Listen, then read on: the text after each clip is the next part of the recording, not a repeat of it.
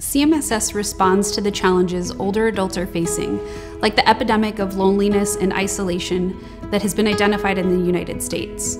Our Senior Connections program matches a volunteer in the community with an isolated older adult, setting up regular socialization opportunities to reduce loneliness. When we help create friendships that span generations, we're making a difference for individuals and our communities.